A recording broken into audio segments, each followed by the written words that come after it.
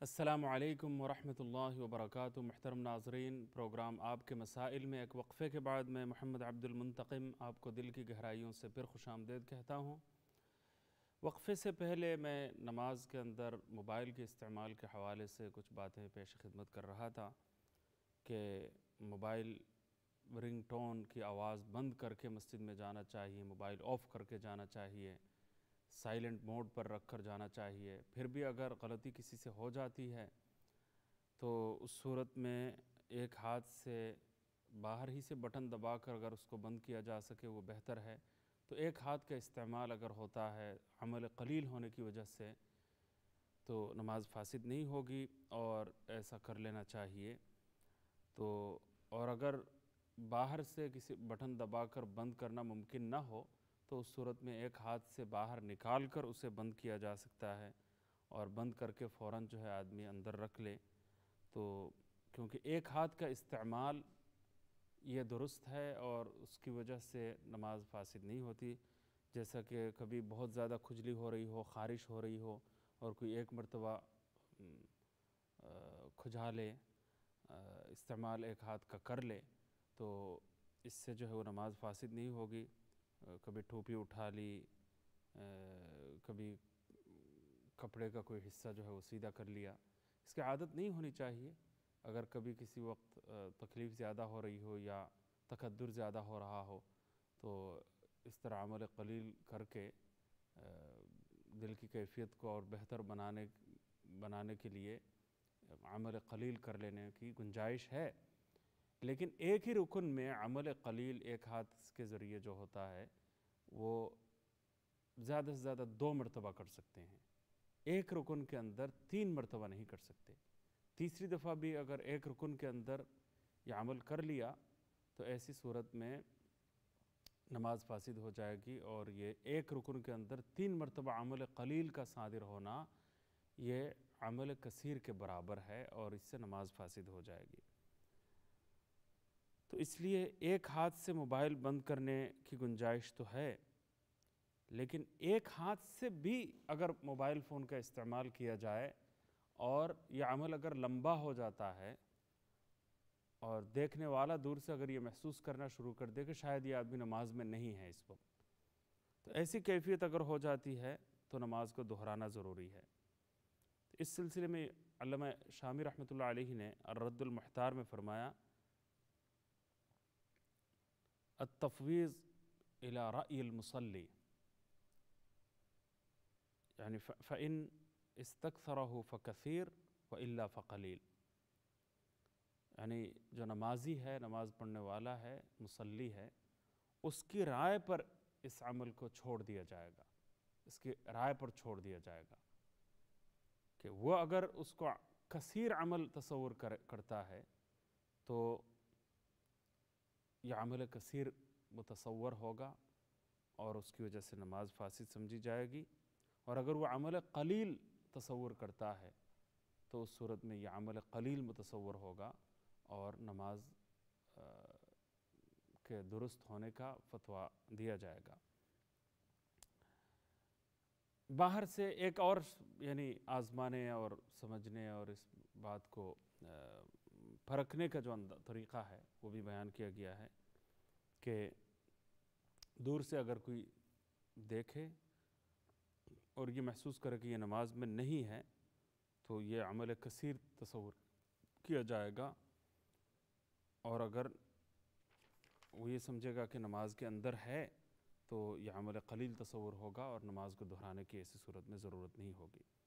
لیکن دونوں ہاتھوں کا استعمال اگر کوئی کرے نماز میں اور دونوں ہاتھ سے جو ہے وہ موبائل کو دیکھتا ہے، بند کرتا ہے، تو اس صورت میں یہ عمل کثیر ہونے کی وجہ سے نماز فاسد ہو جائے گی اور نماز کو دہرانے کی ضرورت ہے۔ تو نماز کے اندر خوشو اور خضوع کی بہت ضرورت ہے۔ اس سلسلے میں بڑی غفلت ہم سے صادر ہوتی ہے۔ تو اسی لیے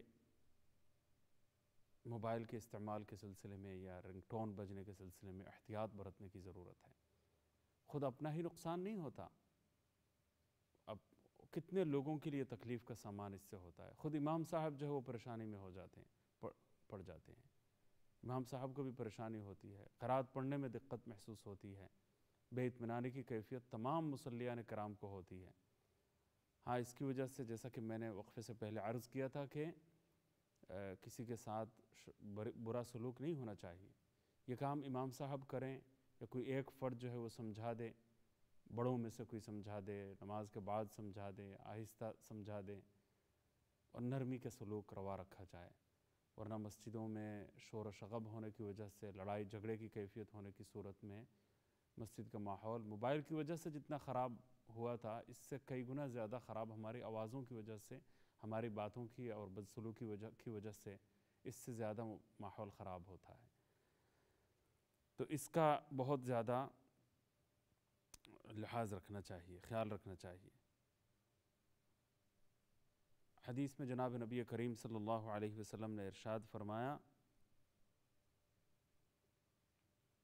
المسلم من سلم المسلمون من لسانه ویدہ رواہ البخاری۔ مسلمان کون ہے؟ جس کے زبان سے اور جس کے ہاتھ سے، جس کے طرز عمل سے دوسرا مسلمان جو ہے، دوسرا انسان محفوظ رہے۔ چونکہ ایک مسلم ماحول میں، مسلم معاشرے میں، مسلم سوسائٹی میں یہ بات کہی جا رہی تھی، تو اس کی ظاہر ہے کہ وہ مسلمانوں کا حوالہ دیا گیا ہے اس حدیث میں۔ لیکن دوسرے حدیث میں من امین الناس کا، کے الفاظ بھی وارد ہوئے ہیں اور اسلام کے اصول عامہ بھی اس بات کے لیے شاہد عدل ہیں کہ یہ قانون صرف مسلمان کے لیے نہیں ہے، ہر انسان کے لیے ہے۔ چونکہ ایک مسلم ماحول میں، مسلم معاشرے میں بات کی جا رہی ہے، تو اس لیے ظاہر بات ہے کہ وہ مسلمان ہونے کا رشتہ یہاں پر بیان کیا گیا ہے۔ تو اپنی زبان سے کسی کو تکلیف نہ پہنچائی جائے، اپنے ہاتھ سے کسی کو کوئی تکلیف نہ پہنچائے۔ مسلمان، میں اس وقت مسلمان کہلاؤں گا۔ عبادات کی وجہ سے مسلمان ہونے کا لقب نہیں دیا جا رہا۔ مسلمان کی تعریف یہ بیان نہیں کی جا رہی کہ فلاں فلاں عمل وہ سر انجام دیتا ہو۔ کہا یہ جا رہا ہے کہ جس کے ہاتھ سے، جس کی زبان سے، جس کے کلام سے، جس کے طرز عمل سے دوسرا محفوظ ہے اور معمون ہے، وہ مسلمان ہے۔ تو اپنے طرز عمل سے بھی کسی کو ادنا سی تکلیف نہ پہنچے۔ اس کا بہت زیادہ خیال رکھنا چاہیے۔ تو موبائل کا رنگ ٹون بجنے کی صورت میں اگر ہم برا سلوک کریں گے تو ہمارا اسلام غیر محفوظ ہو جائے گا۔ ہمارا اسلام ہماری شناخت متاثر ہوگی۔ یہ مسلمان کا کام نہیں ہو سکتا۔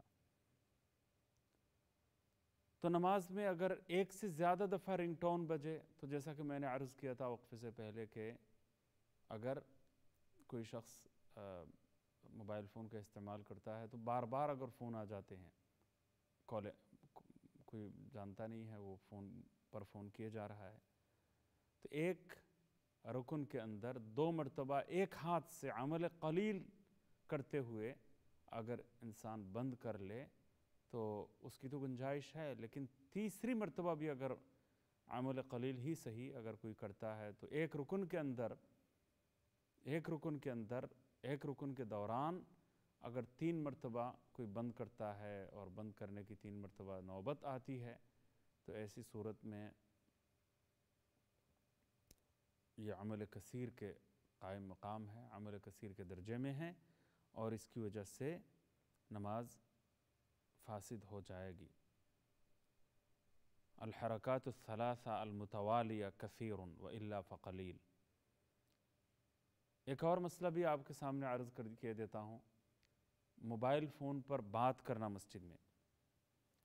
پہلی بات تو یہ ہے کہ مسجد اللہ کا گھر ہے، عبادت کے لیے مخصوص ہے۔ کسی اور عبادت کرنے والے کی دل جمعی اور یکسوئی میں خلل انداز ہونے والا کوئی کام بھی نہ کیا جائے، اس سے گریز کیا جائے، اس سے احتراز پڑتا جائے۔ تو ویسے بھی آپس میں غیر ضروری باتیں کرنا اور دوسروں کو تکلیف پہنچانا، دوسروں کی عبادت میں خلل انداز ہونا، یہ مسجد میں بالکل درست نہیں ہے، بالکل صحیح نہیں ہے۔ بالکل باز رہنا چاہیے، خاموشی اختیار، ذکر و اذکار انسان کرے تسبیح و تحلیل کریں۔ سبحان اللہ الحمد للہ لا الہ الا اللہ اللہ اکبر۔ سبحان اللہ والحمد للہ ولا الہ الا اللہ، واللہ اکبر۔ اس کی کثرت کی جائے، ان کلمات کی کثرت کی جائے۔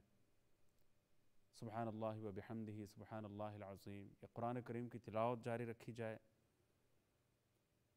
اور صرف باتیں کرنے کے لیے مسجد میں جانا، دنیاوی باتیں کرنے کے لیے جانا، یہ اس کی تو ہرگز گنجائش نہیں ہے۔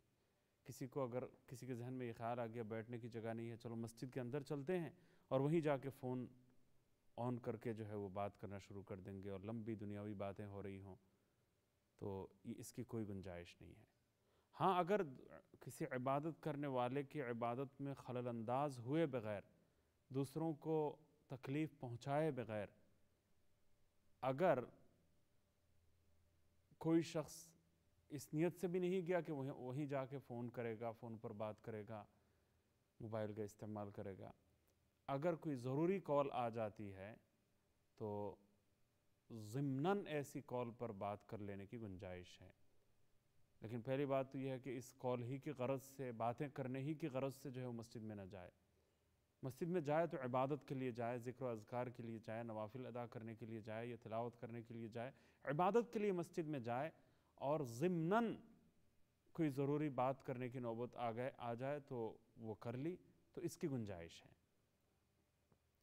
یعنی اصلاً میرا جانا دنیاوی کام کے لیے نہ ہو، اصلاً عبادت کے لیے ہو اور دنیاوی کوئی بات کر لی، دنیاوی کوئی کام کر لیا، وہ اصلاً نہیں ہے، بلکہ ضمناً اور طبعاً سیکنڈری طور پر کوئی کام، ثانوی درجے میں اگر کوئی کام اس طرح کا کرنا پڑ جائے، بات کرنی، کرنے کی نوبت آ جائے تو اس کی گنجائش ہے، تو فون پر بھی بات ہو سکتی ہے۔ لیکن زیادہ نہ ہو، طویل نہ ہو، لمبی نہ ہو، دنیاوی باتیں بھی ضرورت کی حد تک ہو اور دوسروں کے لیے وہ تکلیف کا ذریعہ باعث نہ بنے، ان باتوں کا پورا خیال رکھا جائے اور مقصود اصلی نہ ہو۔ تو اس طرح جو ہے وہ ضمن اگر بات ہو جاتی ہے، اصلاً میں عبادت کے لیے جاؤں اور ضمن جو ہے ضروری کوئی بات ہو جاتی ہے اور دوسروں کو تکلیف بھی نہیں پہنچتی، تو اس کی انشاءاللہ تعالی گنجائش ہے۔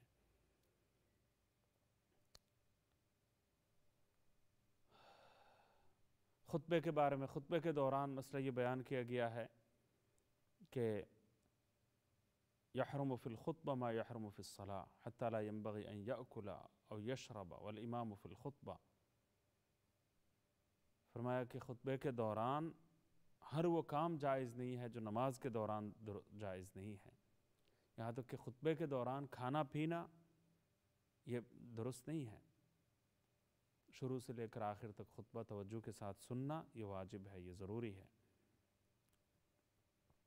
یہاں تک کہ خطبے کے دوران اگر امام صاحب کا فون اگر بج اٹھے، تو خطبے کے دوران امام صاحب کے لیے خود اپنا فون ریسیو کرنا بھی جائز نہیں ہے۔ امام صاحب سلام کر سکتے ہیں، کوئی مسئلہ بیان کر سکتے ہیں، یہ سب کچھ ٹھیک ہے۔ لیکن خطبے کے دوران اپنا فون کال اپنا فون ریسیو کرنا کال ریسیو کرنا اور بات کرنا، یہ بات بھی درست نہیں ہے۔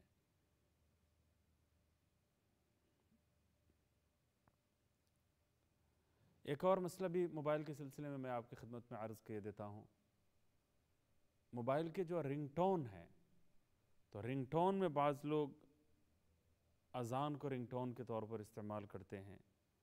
ذکر و اذکار کے بعض کلمات کو وہ رنگ ٹون کے طور پر استعمال کرتے ہیں۔ قرآن کریم کی تلاوت کا، ریکارڈڈ تلاوت کو رنگ ٹون کے طور پر استعمال کرتے ہیں۔ تو رنگ ٹون در حقیقت یہ کالنگ بیل کے درجے میں ہے۔ کسی کے گھر میں آپ جا کے دستک دیتے ہیں، وہ دستک دینے کے درجے میں ہے۔ تو ہم دستک جب دیتے ہیں تو ہاتھ سے آواز دیتے ہیں، دستک دیتے ہیں۔ فقہ کرام نے یہاں بھی مسئلہ یہ لکھا ہے کہ کسی کو بلانا، کسی کو اپنی طرف متوجہ کرنا، اپنی آمد کی اطلاع دینا، اس کے لیے اللہ کا نام اگر استعمال کیا جائے ذکر کے کلمات استعمال کیے جائیں، قرآن کریم کی آیت کا استعمال کیا جائے، تو یہ بات جائز نہیں ہے، درست نہیں ہے یہ۔ یہ ذکر کے کلمات، یہ ورد کے لیے، پڑھنے کے لیے، اللہ کو یاد کرنے کے لیے ذکر کے طور پر اس کا استعمال ہونا چاہیے۔ قرآن کریم کی تلاوت بغرض ثواب انسان کرے، ذکر کے طور پر کرے، تلاوت کے طور پر کرے اس کو کالنگ بیل کی حیثیت نہ دے کتنے لوگ ہیں گاؤں دیہات میں ہم نے یہ دیکھا ہے کہ اپنی آمد کی اطلاع دینے کے لیے سلام کرنا چاہیے تھا، ان کو سلام کرنے میں ہچکچاہٹ سی بعض لوگوں کو محسوس ہوتی ہے۔ سلام کرنا ایک شرم کسی شرم کی بات محسوس کرتے ہیں۔ الحیاض باللہ، وہ فخر کی بات ہونی چاہیے تھی۔ ثواب کا کام ہونا سمجھ کر، ایک سعادت سمجھتے ہوئے ثواب کا کام سمجھ کر شوق و ذوق کے ساتھ انسان کو سلام کرنا چاہیے کہ مجھے بہترین موقع ملا ہوا ہے سلام کرنے کے لیے۔ اچھی بات ہے کہ میں سلام کروں۔ حدیث میں فرمایا گیا ہے کہ افش السلام، سلام کرو نہیں کہا جا رہا، بلکہ سلام کو خوب پھیلاؤ، یہ کہا جا رہا ہے۔ تو سلام کرنا یہ کتنا اہم موقع ہے، ایک خوشگوار موقع ہے۔ تو اس کو اس عمل کو شوق و ذوق سے کرنا چاہیے تھا، لیکن اب اس میں مسلمانوں میں ہچکچاہٹ سے محسوس ہوتی ہے، شرم سے محسوس ہوتی ہے۔ سب میں یہ بات نہیں ہے، بعض لوگوں میں یہ بات ہے۔ تو ہم نے گاؤں دیہات میں دیکھا ہوا ہے کہ گھر سے باہر کوئی آیا ہے تو بس احاطے میں داخل ہوتے ہی لا الہ الا اللہ، سبحان اللہ، الحمدللہ۔ اس طرح کے الفاظ استعمال کرتے ہیں، اللہ اکبر۔ تو یہ گویا چلتے ہوئے ذکر کر رہے ہوتے ہیں اور یہاں بلند آواز سے ذکر کرنے کا مطلب یہ ہے کہ اپنی آمد کی اطلاع دینا اس سے مقصود ہوتا ہے۔ آواز بلند کرتے ہوئے اپنی آمد کی اطلاع دینا پیش نظر ہوتا ہے کہ دروازہ کھولیں اور میں آ گیا ہوں۔ تاکہ وہ بتانے ہی سے پہلے جو ہے وہ لوگ دروازہ کھولیں اور پھر فوراً ویلکم کہیں، ان کو آ کر اجازت لینے کی جو شرم ہے اس کو ایک شرمندگی سمجھتے ہیں کہ اجازت میں لوں، اجازت چاہوں تو اور پھر اندر داخل ہوں۔ تو اس سے جو دل میں ایک ملال کی سی کیفیت ہو جاتی ہے، اس سے بچنے کے لیے لا الہ الا اللہ، سبحان اللہ، اس قسم کے جملے جو ہے وہ بعض لوگ استعمال کرتے ہیں۔ تو ذکر کو کالنگ بیل کے طور پر استعمال کرتے ہیں۔ اپنی آمد کی اطلاع دینے کا ذریعہ بناتے ہیں۔ تو قرآن کریم کی تو یہ بات درست نہیں ہے۔ تو اس سے موبائل کا مسئلہ جو ہے وہ سمجھ میں آتا ہے۔ تو موبائل میں جب کالنگ بیل یعنی رنگ ٹون کی آواز گونجتی ہے، تو یہ رنگ ٹون کی آواز دستک دینے کے مترادف ہے۔ تو وہاں جس طرح دستک دینے کے قائم مقام قرآن کریم کی تلاوت کو بنانا، آیات قرآنی کو دستک دینے کے کام میں استعمال کرنا ذکر کے کلمات کو دستک دینے کے کام میں استعمال کرنا یہ جائز نہیں ہے، صحیح نہیں ہے۔ تو موبائل فون پر بھی قرآن کریم کی آواز، تلاوت کو دستک کے طور پر، دستک دینے کے کام میں استعمال کرنا یہ بات درست نہیں ہے، یہ بات صحیح نہیں ہے۔ تو یہ بہت اہم بات ہے۔ کتنے لوگ ہیں وہ یہ سمجھتے ہیں کہ ہمیں تو ہم نے تو قرآن کریم کی محبت میں یہ کام ہم نے کیا ہے۔ اب قرآن کریم کے الفاظ اور آیت کی تلاوت ہو رہی ہے، وہ درمیان سے میں کاٹ دیتا ہوں اس کو اور فوراً فون اٹھا لیتا ہوں۔ وہ جملہ بھی پورا ہونے نہیں دیتا۔ تو یہاں قرآن کریم کی آیت کو اپنے آپ کو متوجہ کرنے کے لیے اپنے دروازے پر دستک دینے کے طور پر میں استعمال کر رہا ہوں تو یہ بات ٹھیک نہیں ہے، یہ درست نہیں ہے۔ اس سے قرآن کریم کی تعظیم نہیں ہوتی۔ توہین کا پہلو اس میں ہے، بے عزتی کا پہلو ہے۔ پورا پورا احترام اس سے نہیں ہوتا، بلکہ احترام کی کمی اس سے لازم آتی ہے۔ تو اس لیے رنگ ٹون کے طور پر ایسی چیزوں کا استعمال درست نہیں ہے۔ ہاں اب رنگ ٹون میں کتنے لوگ ہیں جنہوں نے گانا، گانے کی آواز، خواتین کی آواز یا اخلاق خراب کر دینے والی کے جو الفاظ ہیں، گانے کی آوازیں ہیں، ان کا استعمال بھی درست نہیں ہے، وہ گناہ کا کام ہے۔ اور بعض لوگوں نے یہاں قرآن کریم کی تلاوت کی آواز وغیرہ لگا کر اور زیادہ اس کی وجہ سے نقصان ہوتا ہے۔ تو موبائل کا درست استعمال ہونا چاہیے، اچھی چیزیں دیکھنی چاہیے، گناہ کے جتنے کام ہیں، گناہ کی جو چیزیں سننے کو ملتی ہیں، ان سے بھی بچنا چاہیے۔ اور جو گناہ کے کام دیکھے جاتے ہیں، ان سے بھی مکمل طور پر گریز اختیار کرنا یہ لازمی ہے اور ضروری ہے۔ اللہ تعالیٰ ان ٹیکنالوجی کی ان چیزوں کا درست اور صحیح استعمال کرنے کی ہم سب کو توفیق عطا فرمائے۔